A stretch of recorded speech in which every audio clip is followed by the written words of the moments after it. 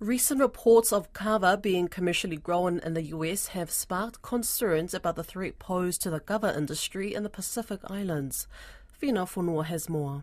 Welcome to Cup of Kava in Clarksville, a unique destination for those seeking a relaxed cafe experience. That's the advert of a kava bar hidden away in the small city of Clarksville in America's whiskey state of Tennessee. It's one of at least six kava bars in the States. Estimates on the number of kava bars in the US vary from 180 to over a thousand, and that number is growing. Less than two weeks ago, Massachusetts welcomed its first kava bar, Root Awakening. You can actually go out, have fun, get a different feeling. It's not drunk or high, we get rooted. The owner, Penny Kimmett, told CBS News he was already planning to open a second bar in the States. For the Pacific Islands, the growth of kava bars in the U.S. means more exports and more money. Fiji's Ministry of Trade reported in 2021 that kava exports had more than tripled since 2016. Last year, Vanuatu exported 351 tons of kava to the United States. Californian entrepreneur Tyler Thomas says the demand for kava is rapidly growing.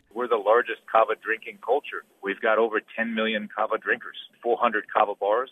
Probably in the next four or five years, we'll have uh, a few thousand. Thomas is a stakeholder in Kavafied, a U.S. company that grows kava in the marsh areas of Florida. Thomas says the domestic production of kava in the U.S. is still in its pilot stage, and there's no agenda to displace the kava industry from the Pacific Islands. We have no intention of attempting to cut the islands out from kava. That is not the uh, the goal of this exercise.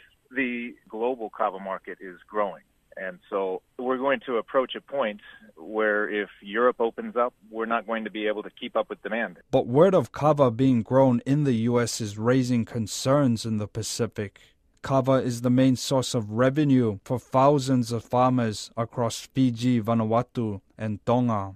Last week, Fiji's Prime Minister Sitiveni Rabuka told the Fiji Times that there are no market protections and that Pacific Island kava producers needed to lift their game. Fijian kava exporter Praveen Narayan says there's concern.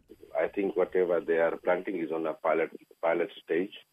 Um, concern maybe after five or ten years if it is really really successful. But what the Honorable Minister has stated, I think he rightly stated that the exporters, even the farmers, everybody need to up their game.